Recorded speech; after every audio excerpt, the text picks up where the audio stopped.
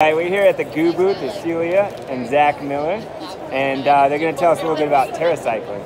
Yeah, so here at Gu, we have this cool program that you can actually upcycle all of your nutrition. So any single serve packets, gels, drinks, chews, waffles, not only Gu, but any brand, um, you can actually collect the packaging, start a TerraCycle account, collect them all, send them in for free, and I really use TerraCycle.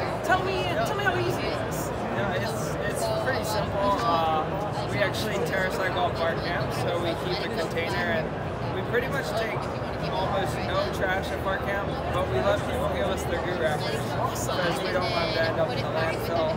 Uh, and Barr Camp participates in the TerraCycle program, so we just collect them at Barr Camp the ones we sell and from anything any runners have on the trail as well.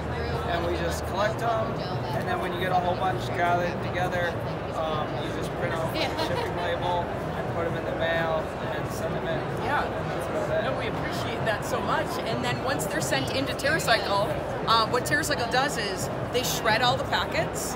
Um, and after they're shred, they melt them down into plastic pellets. And after that, it's actually made into upcycled lumber. So companies can make park benches, playgrounds, Adirondack chairs, anything that actually keeps all the packaging out of the landfill. So thank you, Zach, for being a, uh, a leader in TerraCycle, and we encourage anybody, an individual, retailers, races, you can create a free account, and it's just as easy as printing out your free shipping label, packing them all in a box, and saying, not today landfill.